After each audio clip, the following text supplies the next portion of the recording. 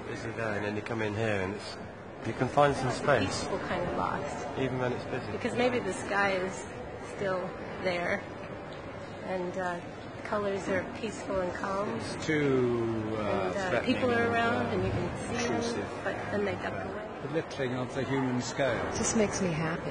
especially the ground being a certain got the rough, texture the way you walk. tree And it sort of uh, brought to mind uh, the Native Americans and how they would leave messages on tree, the carvings in the tree trunks.